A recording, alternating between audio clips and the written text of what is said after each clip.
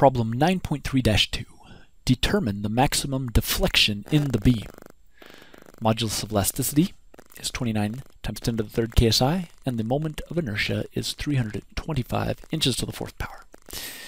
Here's the beam. It's simply supported with a pin at one end, a roller at the other, and there's a point load being applied as shown. It's off-center a bit. This point, many students will think, well, this is not stable because the beam will lift off the roller with this point load. But keep in mind that this roller is simply a symbol that represents that the beam is restrained from deflection in the vertical direction. And that counts for both deflection both up and down. We will assume that the beam will be held in place by this roller in the vertical direction. To solve this problem, we're going to use the deflection tables to get an equation for def deflection from this load. Here's a deflection table I found on the internet. The second row shows a beam that looks a lot like ours, except uh, in our problem, the point load is acting upward vertically.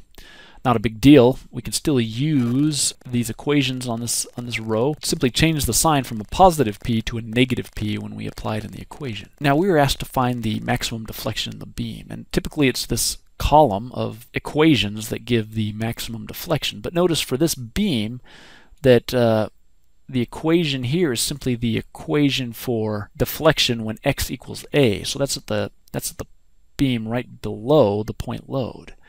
But that is not going to be our point of maximum deflection. In fact, it turns out our point of maximum deflection is going to be a little bit to the left of that point load. So we're, we can not use this equation here. Instead, we're going to use the elastic curve equation. Notice this elastic curve equation is, uh, is only valid for x is greater than 0 and less than or equal to a. That's okay because our point of maximum deflection is somewhere uh, in that range. So I've written the equation for the elastic curve for our problem. You can see it's in terms of x, and this, this equation is good for x is greater than or equal to 0 and less than or equal to a, and I've labeled the variables a and b on this uh, on my on my diagram. So P we're going to take as negative 100 kips. We're going to take the negative sign on there because it's opposite the direction of the arrow in the deflection table. And you can see this, the two negative signs will cancel out and we'll get a positive deflection, which is what we'd expect, positive being upwards. B is this dimension here. It's 4 feet, and we'll convert that to inches so that our deflection will come out in units of inches. And uh, our length is the total length of the beam, A plus B, which is 12 feet or in other words 144 inches. Now we're trying to find the maximum deflection in the beam and this equation gives us the deflection anywhere uh, along A and we know the maximum deflection is going to be somewhere between the left end and the point load but we don't know exactly where so the way we're going to find it is we're going to take the elastic curve equation and we're going to take the uh, the derivative of it to get the slope. We'll set it equal to 0 and uh, solve for x. That'll tell us where the slope is 0. That will be where we have our local maximum, which will be our maximum deflection in the beam.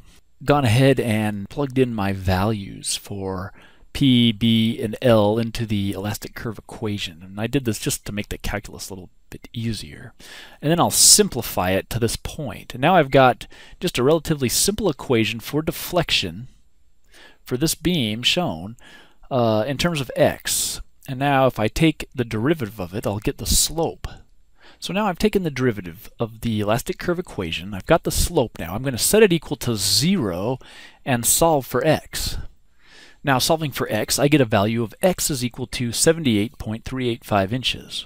What that means is that if we come over a distance of x equals to 78.385, uh, we'll be at our point of maximum deflection. That's where our slope goes to zero. So to calculate what that deflection is going to be, the value of our deflection, I'll take this value of x, I'll plug it back into this equation here, which is our elastic curve equation, and evaluate it.